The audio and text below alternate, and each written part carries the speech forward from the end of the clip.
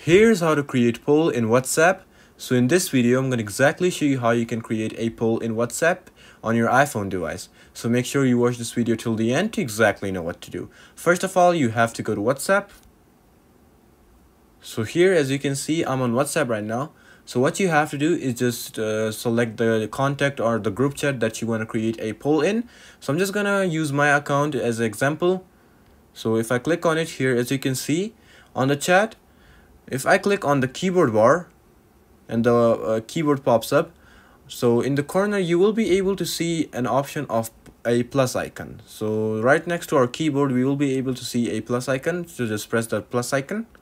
Once you press on it you will be able to see many options right over here but you just have to press on the poll option once you press on it you will see this interface. Uh, it will uh, ask you to put a question and then the options. Just put in the question that you want your uh, for your poll. So i'm just going to type in which console is better. And then uh, you can add options. So you can add up to 12 options. So i'm just going to type in playstation and xbox. So you can add other options too but uh, yeah.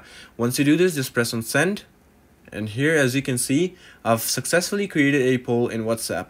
So yeah that's how you can create a poll in WhatsApp. So I hope this video helped you out. Leave a like drop a comment and subscribe to this channel. Until then goodbye and peace out